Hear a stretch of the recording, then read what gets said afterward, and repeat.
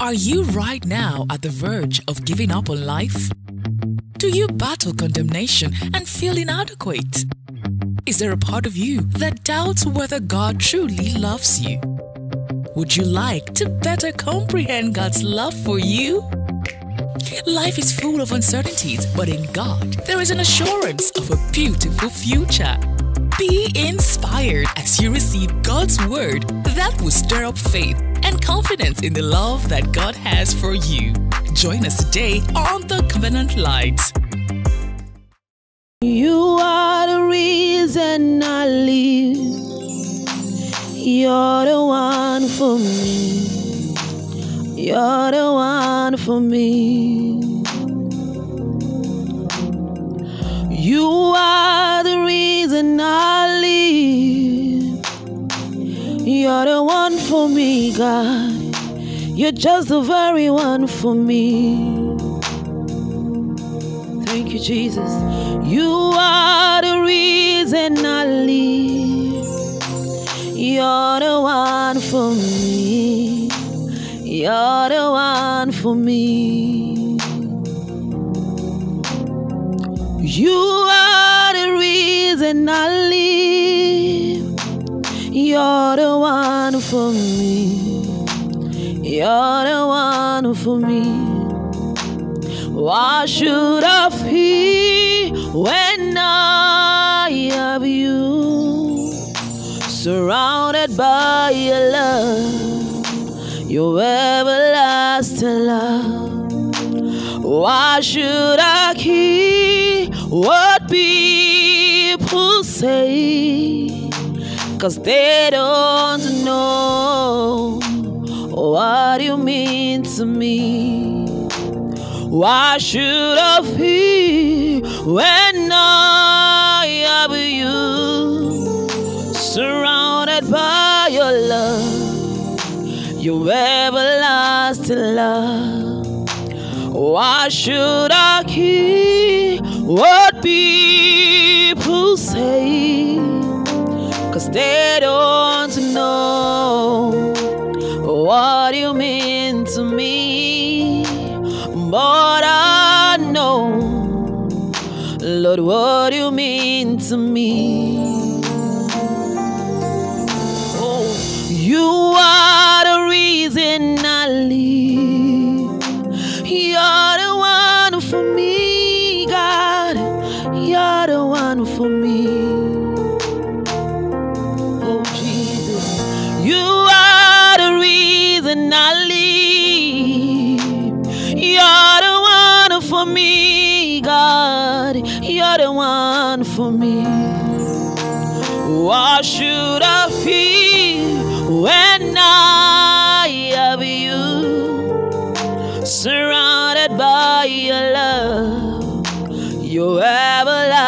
everlasting love. Why should I care what people say? Cause they don't know what you mean to me. Good morning and welcome to the Covenant Light, our time of devotion to God and His Word. The Bible says, first of all, let prayers be made for all men, especially for those in authority, that they may come to the knowledge of Christ. We're going to be praying for everyone in the world right now. And you're going to be mentioning the country where you are in or the country you feel God has led you to be in as we pray. So let's say this together. Say, Father, in the name of Jesus, I ask that everyone in Nigeria comes to the knowledge of Christ in the name of Jesus. Let there be a flooding of the gospel of Jesus all around this country that men and women may come to the knowledge of Christ in the name of Jesus. Sweet Holy Spirit, I yield to you right now that you help me to pray out these things according to your will in the name of Jesus. Amen. Let's pray in the Holy Ghost right now. Le krabada shantele ma sotokobosh. E prato sokoleande libra dasha telegeregendosh. E pramba de goto soto fanda yala baha. Ke susu frande gele brado shatele mata kaya da brashe. E prendo soto logo de blenge le gradosha. Rakata ya lamante kere beko soprande gele broshata. Le prozo zozo prande gele gredo shantala baha. E prande gala bashata. Le soto poko yala makatara baka shakata. Le protusko prene kele brando shkentele bakusata. E baya gada bara guso tokoro bokosha. E prande guskale brando shkendele kele gele branda jagalabada. E krozo godobonde la brate kele grodo shalem bradasha. In the name of Jesus, we declare that there's a flooding of the knowledge of Christ uh, all over this nation. In the name of Jesus, that men and women, both young and old, uh, are coming to the knowledge of the gospel of Christ in the name of Jesus Christ. Every veil that is covering the eyes of the and the hearts of the people in the name of Jesus is taken away. In the name of Jesus, let light flood their hearts. in the name of Jesus, let the light of the gospel flood the hearts of men. In the name of Jesus Christ, let men come to the knowledge of Christ. in the name of Jesus. Kale pradosha le galamande le protokolo bokosha. E prente se ke la la manda galesh kalabaro bosto. E prenoso to. E prenoso taya gada gela basha. La soto kaye gadange le brotokone ala baha. Oh, thank you, Jesus. In the name of Jesus we pray. Amen. Hallelujah. Glory to God. Right now, we're going to be taking our confession and praying about the blessing and our finances.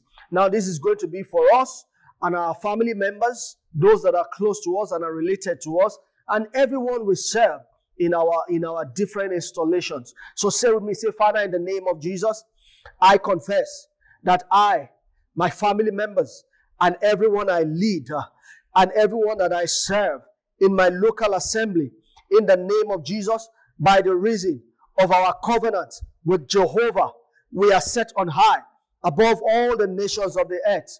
We are empowered to prosper everywhere we find ourselves. Our offsprings are empowered to prosper. Our possessions are empowered to prosper. Everything we have is empowered to reproduce after its kind so that we experience abundance. Our expense accounts, savings accounts, and investments are overflowing with abundance. We are blessed at all times.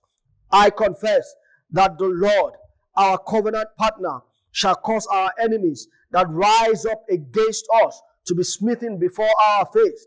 If they come against us one way, they shall scatter in seven ways. Uh, we are empowered to keep our bank accounts full.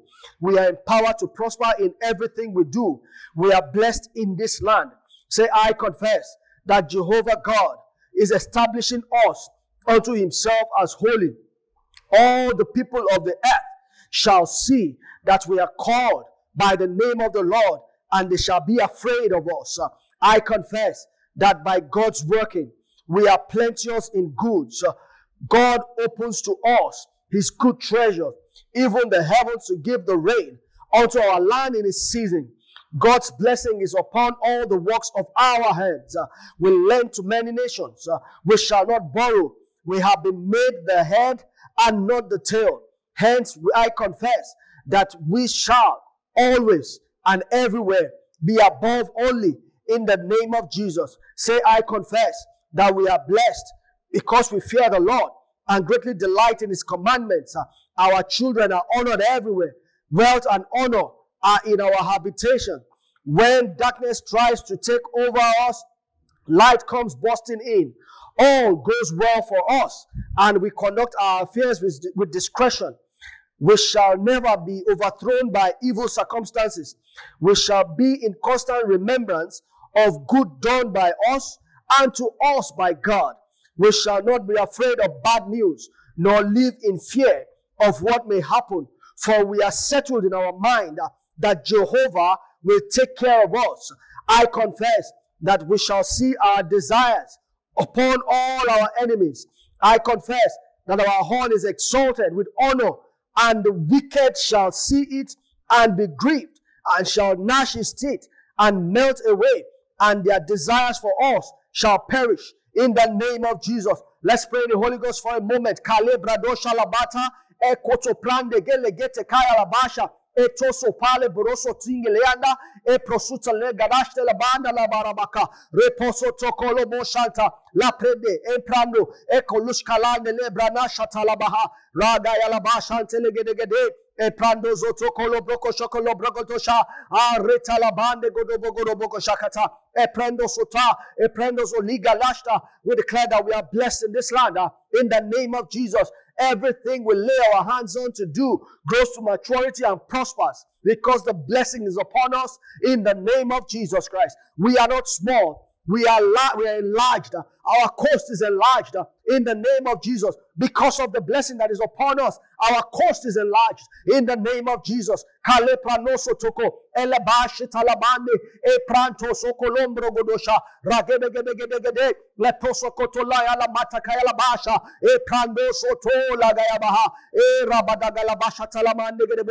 In the name of Jesus. Amen. Hallelujah. Say with me concerning our finances and possession. I confess that we give and it is given back to us with good measure, pressed down, shaken together, running over. Men are constantly given to us. We sow bountifully and we reap bountifully. I confess that our needs are met and all our bills are paid. We have plenty and more to put in store through the anointing of Jesus. We prosper financially and materially. The yoke of lack and poverty in our life uh, has been destroyed, uh, completely obliterated uh, by forever by the anointing of Jesus. We have abundance in all good things uh, that our hearts desires, and we are blessed. I confess that Jesus has been made poor for us, uh, and by his poverty we have been made rich. I confess that God is making all favor and earthly blessing come to us in abundance so that always, under all circumstances and whatever the need, uh, we are self sufficient, possessing enough uh, to require no aid or support, uh, and furnish in abundance for every good and charitable donation. I confess uh, that we have abundance and not lack. We walk in the anointing for too much, and it is manifested in the abundance of our possessions. We have far much more finances and material things than we need. So much that we are, we are a tremendous blessing to many. We have wealth beyond natural comprehension. We have mind blowing abundance. I confess that we have moved from not enough all the way to more than enough. With height, hence the devourer is rebuked for our sake, and all our fears are watched over by God. He is, super, is supernaturally involved in all our affairs, and the windows of heaven are open unto us. God is giving us insights, ideas, and concepts for providing solutions to mankind challenges, making us wealthy. Say, ministry spirits are, are working on our behalf, bringing us money and materials from far and near, and enforcing our covenant with Jehovah Jireh, the Lord our provider, with Jehovah Shalom, the Lord our peace and wholeness, with nothing missing, nothing lacking, or nothing broken and our covenant with Jehovah Gmolah, the Lord our compensation and our restorer. Say, I confess that we have abundance. We have the minimum monthly income we have set for this month. Huh? And in the name of Jesus, angels go forth to gather for us and men give to us. Our net worth is ever increasing through at such a rate uh, that can only be attributed to the uh, to, to God's working in our lives and not ours. Uh, we can never lack. Our book days are over forever. In the name of Jesus. Kaleprano shilamande. La sotoko boronde anamasha talabaha. Rekatalabayele boshe tolomonde gelebros kaleane. E pratos kale. Era basha tane gele boso. La sete kayana bakate. Rapate kalamande gedebokosho. Ele baso totozo. Angels are released, going forth. Uh, to bring for us uh, from the east, west, north, and south uh, finances, wealth, uh, provision in the name of Jesus, such that we lack nothing good uh, in the name of Jesus. In things money can buy and things money cannot buy, we lack nothing good uh, in the name of Jesus because angels go forth and bring in resources to us in the name of Jesus. E pratakaya labasha, rekotokolo moko sopriande lipranasha, e prandos leande lipradaga layana masho tolabaha, oh rabatekelebe gerebo shantalabaha. Thank you, Jesus. Thank you, Jesus. Lord, we give you praise. We thank you in the name of Jesus. Amen and amen. Hallelujah. Glory to God. Let's welcome Pastor as he brings the word to us this morning. Glory to God. Hallelujah. Glory be to God. Glory be to God. I am so delighted at what God is already doing in our lives. Let's go into the word. Father, in the name of Jesus, we ask you for revelation knowledge to dawn upon our hearts. I yield myself to you. I ask that you will think through my mind and speak through my mouth. All of you, none of me. I ask that thoughts and words from heaven will flow freely to your people in Jesus' name. Amen. Amen. Hallelujah. All right. We have quite a lot to cover today, so I'm going to dig right into it. We've, we've been talking about financial increase, and we've said that financial increase in the kingdom, the kingdom way begins with seed um, planting, and then it goes on to watering that seed and then harvesting the seed. And today we're finalizing on the concept of planting, sowing seed. The idea of planting, I'll say again, the idea of explaining kingdom finances through the, the concept of a farmer sowing a seed is not from prosperity preachers or from your pastor. It is from the word of God. God's word, Jesus alluded to that idea when he said, uh, uh, Give, it shall be given back to you. Good measure, pressed down, shaken together, and running over. For with the same measure that you meet, it shall be measured back to you. Luke 6 and verse 38.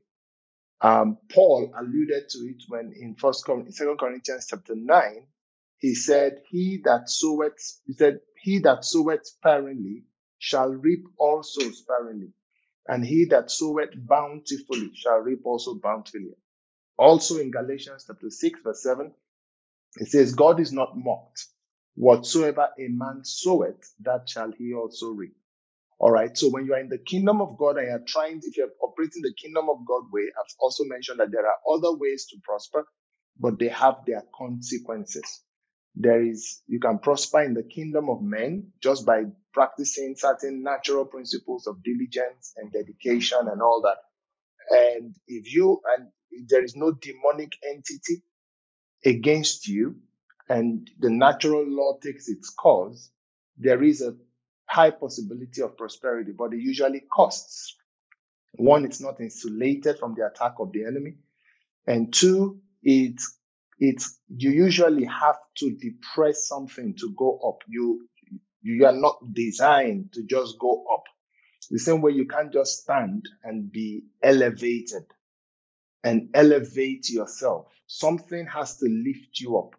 God designed that man will be lifted. He said, My horn has thou, uh, uh, um, my horn shall be anointed, uh, shall be exalted, uh, uh, um, like the horn of a unicorn, and I shall be anointed.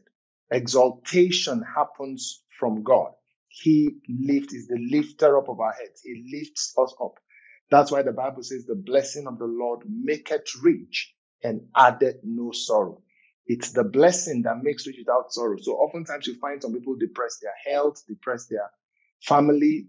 By depressed, we mean that they give up on certain things in order to get certain things. But we've talked about all of that. Today I have quite a lot to cover, so forgive me if I just dive right in. So we've talked about giving to the poor, we've talked about giving to your parents, we've talked about giving to your prophet, your man of God.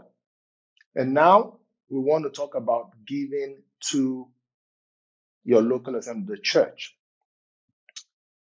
The church. The church where you identify as a member and where you vitalize the legal reality of your membership in the body of Christ. You are a member of the body of Christ legally, but by being part of an assembly of God's children, you are you are vitally experiencing that legal reality. All right. So that local assembly where you are part of, you need to give to that place. It's one of the places that God said you should bring um, the things you want to give Him, the things you want to sow into those places. So let's look at two things that I that every believer should endeavor at the very minimum to bring to their local assembly. One is the tithe. The second is the first fruits. The tithe and the first fruits. And like I've said at the beginning, this particular, you know, this is a devotion. So it's not a seminar. We're not trying to convince people about the reality of these truths, but rather to give faith to those who already accept God's word to be true. And we give faith so that they can um, exercise faith in the doing of these things. A lot of you are doing it without consciously expecting a harvest, without consciously um, believing based on the scriptures where those things are concerned. So I want to talk about uh, the tithe and the first fruits. So I'm going to begin with the with the tithe. Um,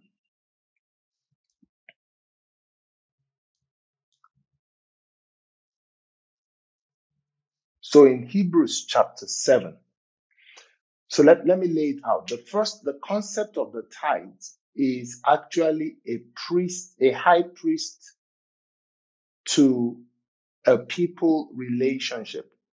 The concept of the tithe is the receiving of the ministry of a priest. So every time you find a tithe, you find a priest and a person who is blessed, who is blessed, all right, who is and who is a candidate and a rec- or a recipient of the blessing. You find a priest and a person who is a recipient of the blessing. So if you go all the way, some people think that tithing began with uh, Moses and the laws of Moses, but that's not the case. Tithing began all the way from Abraham. In fact, when you know you can extrapolate even beyond that to uh, uh, the very Garden of Eden, but the very first mention of that word we know goes all the way back to the time of Abraham. So it was before the law. So it didn't go with the law. Tithing is not part of the law. And you will understand as we go on. So you find the first time it's mentioned, we don't have time to go there now. But the scriptures we're going to read today, um, the scripture we're going to read today touches that as well.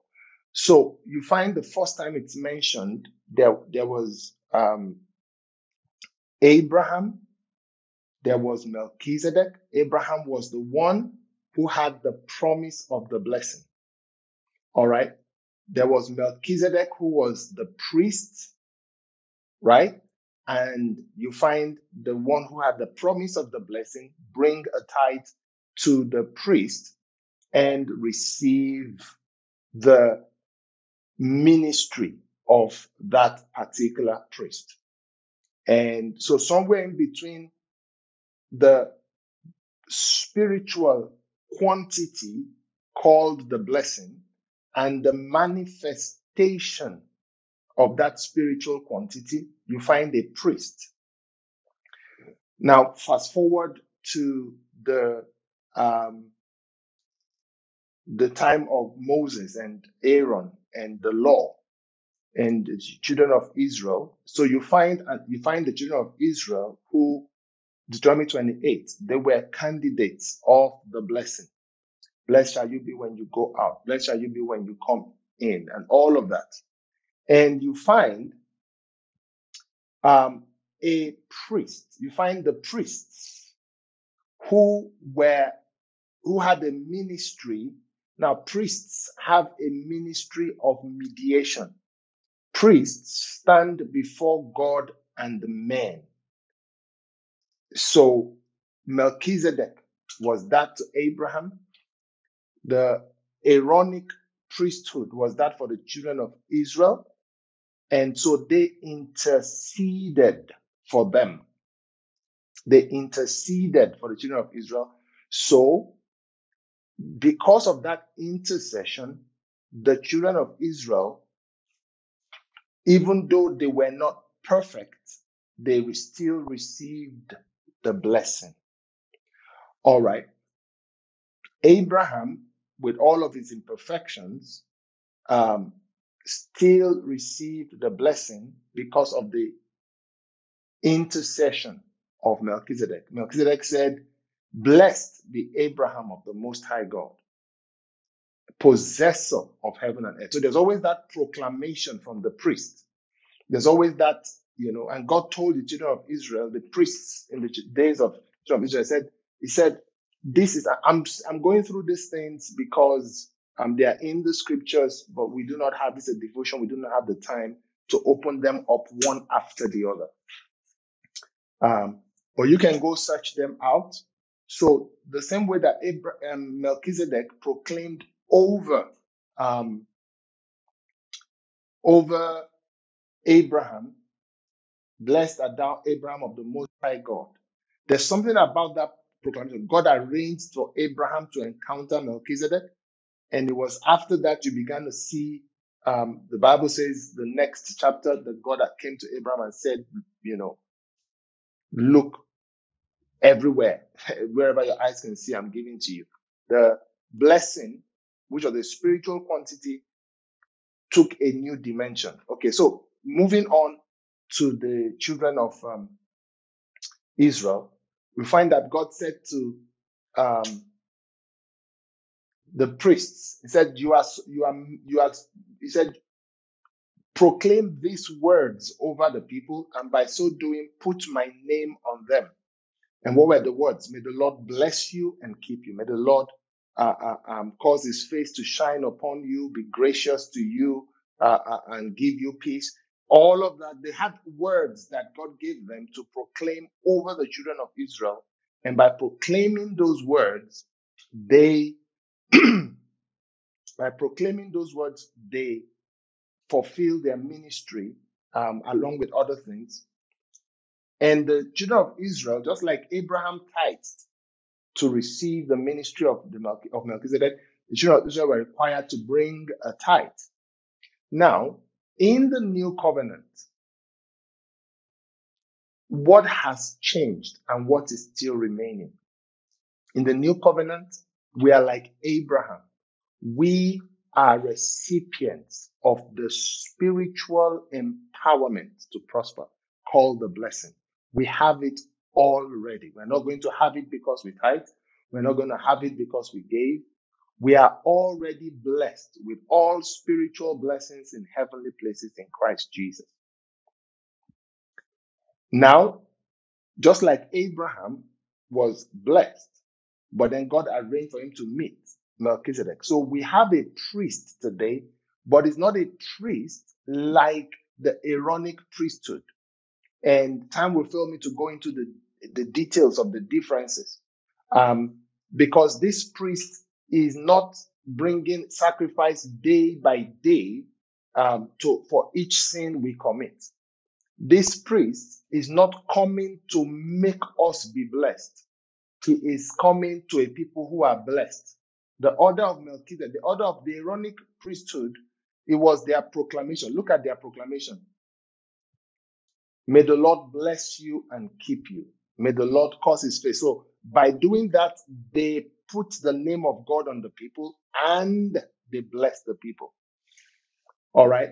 But the Melchizedek order says, Blessed be Abraham of the Most High God, possessor. Abraham, he called Abraham a possessor of heaven and earth. And so he was talking about being blessed in the sense of possession, in the sense of taking, in the sense of manifestation. All right. And that's the context of the New Testament. When, when, when you know, some people say, oh, you never bless anyone in the new covenant. No, that's not true as well. In the new covenant, you can, a pastor can pray for you and bless you. Your, your, your mentor can bless you. And there's nothing wrong with that. And we find oftentimes in the Bible, Paul will say, grace and peace be multiplied to you. Um, is it that they don't have God's grace already? Or is it that the, they don't have the peace of God? Bible says being justified by faith, we have peace with God. So why is it saying grace and peace be multiplied when they already have peace with God and when they already are recipients of the grace of God? In the new covenant, it's talking about the manifestation of these things. It's talking about these things becoming evident in your life, being multiplied. When grace is multiplied, it's showing up all over the place. When peace is multiplied, it's talking about wholeness showing up in your life, not as a spiritual quantity, but a spiritual one that has brought forth manifestation. All right. So the same thing with blessing in the new covenant. So in the new covenant, we're not being, we're not being blessed to receive what we did not have, but rather to bring about manifestation, just like Melchizedek. All right. So in the light of all of that foundation, let's now look at the scriptures. All right. So in the new covenant, Jesus is our own priest. So let's look at scriptures, the same pattern. For this Melchizedek, Hebrews chapter 7, king of Salem, priest of the Most High God, who met Abraham returning from the slaughter of the kings and blessed him, to whom also Abraham gave a tenth part of all, first being by interpretation, interpretation king of righteousness, and after that also king of Salem, which is king of peace. Bear with a lot of the details, you know, it gets better as we go on without father, without mother, without descent, having neither beginning of days nor end of life, but made like unto the Son of God, abideth a priest continually. He's saying that that Melchizedek priesthood continues. All right, let's go on. Now consider how great this man was, unto whom even the patriarch Abraham gave the tenth of the spoils. Abraham tithed to him. And verily, they that are of the sons of Levi who received the office of the priesthood have a commandment to take tithes of the people according to the law. So you see another tithing again. The Levites taking tithes from the people. That is of their brethren, though they come out of the loins of Abraham. But he whose descent is not counted from them received tithes of Abraham. That's Melchizedek and blessed him that had the promises. You see, notice that he had the promises, but then he blessed him. You see, that's what I was saying. We have the promise. We have, we have received exceedingly great and precious promises, right? We have the promises, and we are blessed in Christ Jesus. Watch this. But he whose descent is not counted from them received tithes of Abraham and blessed him that had the promises. So it's after that, our own is after the pattern of Melchizedek. And without all contradiction, the less is blessed of the better. And here, men that die receive tithes, talking about the Levitical priesthood. But there, there, he receiveth them, receive it, receive it, present continuous. So Jesus receiving tithes is a continuation of Melchizedek order of receiving tithes, of whom it is witnessed that he liveth. And and as I may so, so say, Levi also, whom who received tithes, paid tithes in Abraham, for he was yet in the loins of his father. Just, just the technicality, just letting you know that, you know, Levi also tithed, right? Because he was in Abraham. So this tithing began before the law. Um, so look at verse 12. Okay, let's look, let's continue verse 11. We're almost there. If therefore perfection were by the Levitical priesthood, for under it the people received the law, what further need was there that another priest should arise after the order of Melchizedek? You see, another priest has, has arisen, but after the order of Melchizedek. It's a continuation of that Melchizedek just like you and I are a continuation of the Abrahamic order. We are, Bible calls us we are heirs of Abraham. We are partakers of the blessing of Abraham, right? We are a continuation of the Abrahamic order. Bible says, and ye, as Isaac was, are seed of Abraham. So we are like if, if, if we were going to count it, you will say Abraham, Isaac, Nuel, and you, and every one of us. We follow immediately. Abraham, Isaac, Nuel. So we are after that order. And Jesus is after the order of Melchizedek. And so what Melchizedek was to Abraham, Jesus is to us. Watch this. And so he says, for the priesthood being changed. So you see, not the priesthood did not cease, it has been changed. There is made of necessity a change also of the law. So he's talking about how there is now a new covenant because not that the priesthood has ceased, but because the priesthood has changed. And so that's the very reason why we tithe. We tithe because it was before the law, under Abraham, Abraham tithed to a priest, Melchizedek. The Jews tithed to the, the Levites. And we tied to Jesus. And someone said, Well, how do I get it across to Jesus? We're back to what we're saying again. He told us exactly where to send that. Um, the, the body of Christ. Remember, that's the statement. That's what the church is called. The body of Christ. All right. So where do you take something that belongs to Christ? To his body. All right. But we're also told to bring it to the local assembly. All right. Okay. So you take it to the priest. All right. You take it to Jesus. You take it to the body of Christ. So the, the tithe you take to your local assembly. We also know that from Galatians, I mean, sorry, Malachi chapter 3. Um, don't be able to read that now. And it says, bring all the tithes into the storehouse. So where is your storehouse? Where is the place where you go to draw from? Where is the place where you go to receive? That's where you take your tithes to, whether it is online or on site. Glory to God. You take your tithes to that person who you are drawing from. All right. Not the individual, the storehouse. You take it to the storehouse of that place where you draw from. All right. Glory be to God. All right. So that's the tithe. So what's, what is the benefit? What are you believing for when you tithe? When you tithe, you are believing for watch this, the ministry of Jesus in full manifestation. What do we mean by the priestly ministry of Jesus? Bible says he ever liveth to make intercession for us. Pre, the, the tithe is an honor seed. It's a recognition. Melchizedek, I mean, Abraham, Melchizedek blessed him. Abraham recognized Melchizedek as priest by the tithe. He could walk away and say, What are you talking about? What's all that? Just walk away.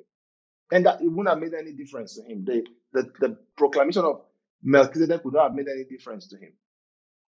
So the recognition of that. So we bring our tithes in honor of Jesus and recognition of him as our priest and everything that goes with that.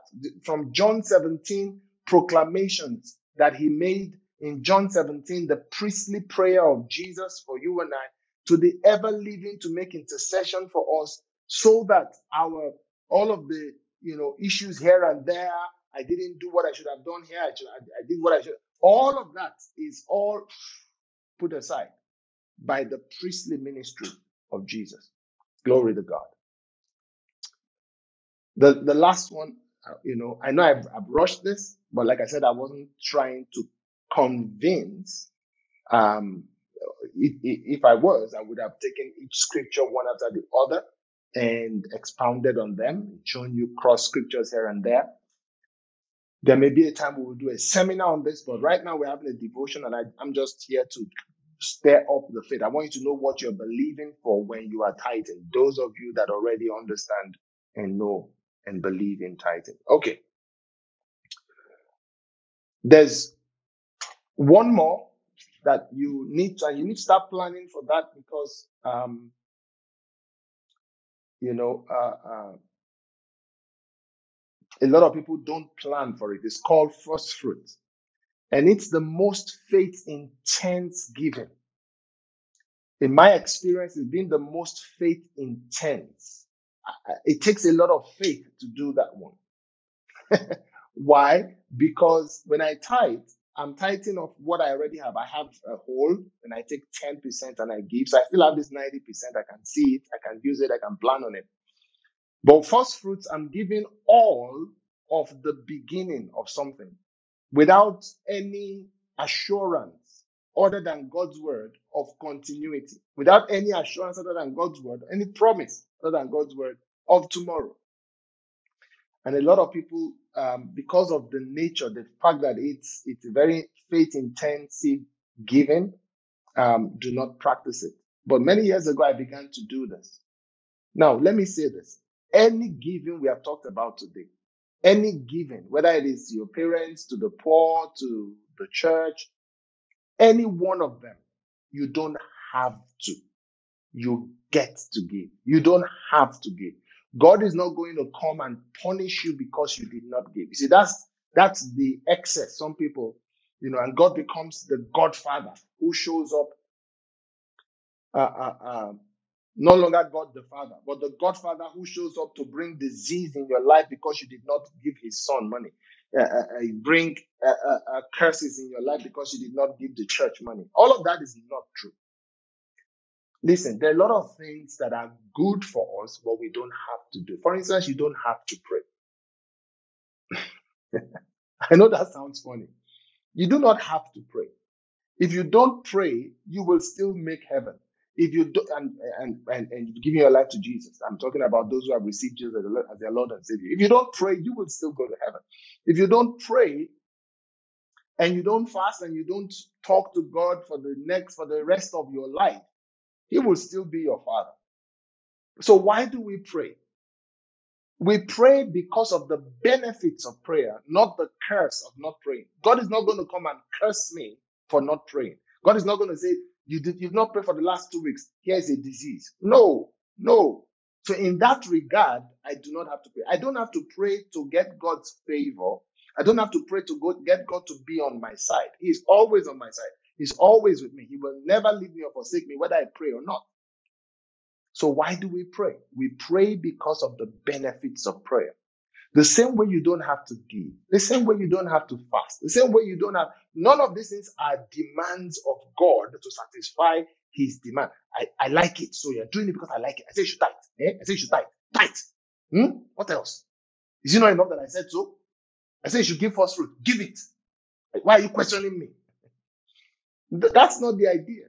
And then if you don't give, say, hey, you won't give tithe, eh? you won't give tithe. Okay, you will see now. You're going to get disease.